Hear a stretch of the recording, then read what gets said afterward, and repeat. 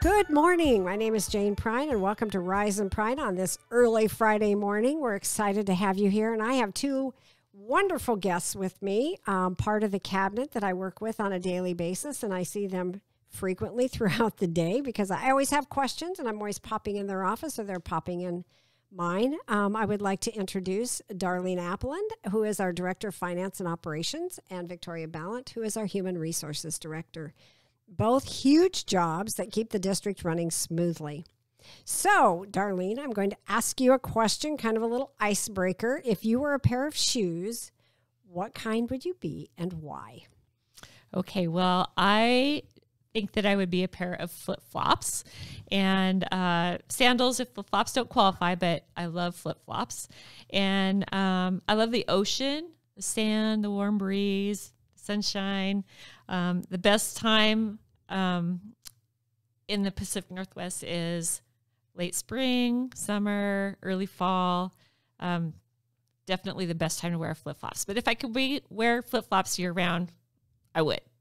So we need to buy her a pair of socks with toes in them, so she can wear her flip flops all year round. And you know they have some really cute socks; they probably match every outfit you own.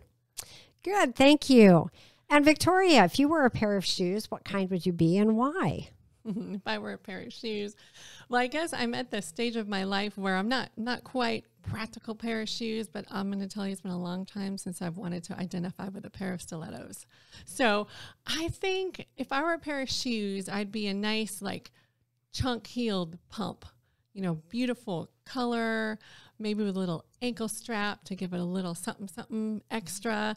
Um, you know, high enough so that you know, they look good with a pair of trousers or, or skirt, but also I could run if I had to. So I, I think that would I, I identify mostly with a nice pump with that with that chunk heel. Do you have a particular color? Well, the color in my head is like a deep burgundy. Oh, color in my head was like shiny black. so there we go. Thank you. And now, Darlene, um, we have been, um, you know, in a pandemic. You have been here for almost, uh, well, just about three years. What can you tell us that are um, some bright spots in the business office?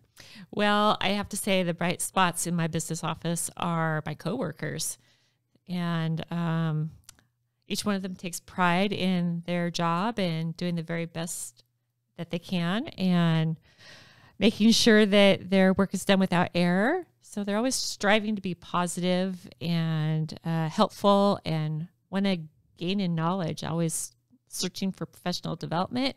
I really appreciate that about them. Good. Well, and it helps because you don't want them to make mistakes because that's our paychecks, right? That is true. That's our budget. Those are our numbers. Yes. So we appreciate all that the business office does and everybody in the business office. Thank you. And then we come to human resources where it deals with all of our people. So, Victoria, what are your bright spots? Yeah, I absolutely agree with Darlene. I mean, the two brightest spots are the ladies on my team. We've really only been working as a trio for about a year, as two of the three of us are actually new to Sequim School District. So we're still in a season of calibrating to one another and reimagining systems that work within our strengths. But both of the ladies that I work with are highly competent professionals. I am so thankful to have them on my team. We really can lean on one another, um, bounce ideas back and forth, and I just trust them. Thank you. Yes, and uh, human resources is forever uh, dealing with all of us. So, thank you. Um, now, Darlene, we're going to go back to a little personal question. What are three of your favorite authors and why? Well, uh, one of my favorites is J.A. Jance, and she's a, a mystery writer, and she's actually a local person. And uh, Francine Rivers, she's another one of my favorites. She writes really great uh, Christian fiction based books, but they are, deal with real life tragedy, but have a, a really great ending that gets my heart. And Sandra Brown, mystery writer with a little bit of romance thrown in there and um, fun to read. So, I see a theme through there that you like mystery with a little bit of love tagged in there. Yep, that's that's about it. And people are resilient at the end. that's right. Happy endings, always good for happy endings. And um, how about you, Victoria?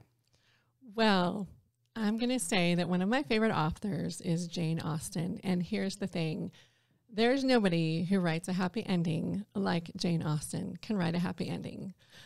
Those books end with everybody getting everything that they ever wanted and they're deliriously happy. So I, I love it. It all comes together in the very last page and it's oh. so anyhow and then uh, my other favorite um, really books like genre would be kind of self help, inspirational leadership type books. I love Byron Katie, Brene Brown, Jen Sincero, Eckhart Tolle, Stephen Covey, Jim Collins, just to name a few. And I also adore all things magical and dystopian post apocalyptic written for young adults. I have to say, I'm going to say this may the odds be ever in my favor while I perform my Patronus charm to ward off the Dementors. so, you know, and I don't know really what this says about me, but I, I think it says that I do believe that things can always get better, especially my own self, and that also I, I believe miracles can happen. Well, then those glasses that Ashley gave you yesterday that are pink with the bling on them are perfect. They're rose colored yes. glasses. Mm-hmm. Mm-hmm. Thank you. And finally, Darlene, what changes have you had to make in your department during this COVID 19 pandemic that have helped you navigate and has moved the department and yourself forward? Well, we've all had to uh, figure out how to work remotely, uh, work remotely and in the office, but we're all separated. And I think that it's really helped us realize that we can come up with a system to work together to keep our workspace healthy. And um, we have figured out that you know sometimes we can work from home and and I know that a couple of the people in our office really like that because they can get a lot of things done in a shorter amount of time. Um, I also think that our office communication, it, while it's been strong, it's been made stronger because we've had to figure out different ways to communicate with one another and um, stay in contact with one another so that we can share our spaces safely. Thank you. And Victoria, how about you? You came and three weeks later or a month later, we shut down. So you have been mainly in the pandemic mode of working in the Sequim School District, and we're now just back to work in the last couple of months. So, what has it been like for you? Yeah, you're right, Dr. Pryne. That has been a challenge. I always think of, you know, your first year in an organization, you're really getting to know the lay of the land, you're getting to know the processes and the systems. And just, it was actually six weeks in, everything shut down. So I feel like I haven't had that full circle around the sun yet with Sequim School District. So I feel like I'm still kind of a newbie learning some systems because we haven't really been able to do what we normally do. Um, so I'm looking forward to reaching a point where we're back in flow and I can get a, a better handle on what it what it is that's really happening here in Sequim School District. I have appreciated how nimble we have become.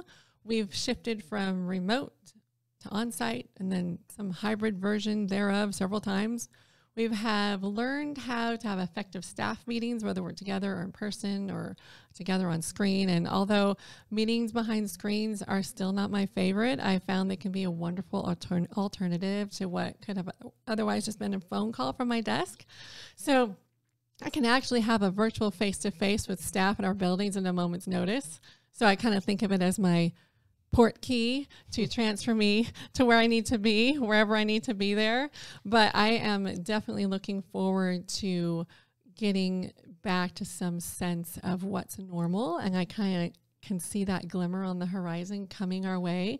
And one of the challenges, I think, specifically in the HR department is we rely heavily on a lot of things to guide our work. Well, I mean, we all do, but you know, we have our collective bargaining agreements and we have the RCWs and the WACs and the board policies and all of the things that we really lean on. And then when there's a pandemic, there has to be a lot of exceptions to what are otherwise rules, and the rules are comfortable because then we know it's black and white. We do this, then this, then this, then this. But when some people can work remotely and some people can't, it doesn't it's hard to navigate that because we in the HR department are all about equity and making sure that our employees are always they always feel treated with dignity and respect and fairness. And this has been a year where there's just been a lot of exceptions to the rule. And I cannot wait until there are not so many exceptions to the rule because when we are trying to make wise decisions, we take all the information we have at this moment to make the best decision we can. And then we have to step out in faith and hope it's a good one and hope it works. So um, that's been a challenge. So, on that note, I want to thank Darlene and Victoria, our cabinet, for coming in and meeting with us this morning. And we want to wish all of you a wonderful Friday and a wonderful weekend and the week ahead. Thank you. Join us next week as we continue with the It Takes a Team series. Thank you for listening and have a fantastic Friday, Sequim.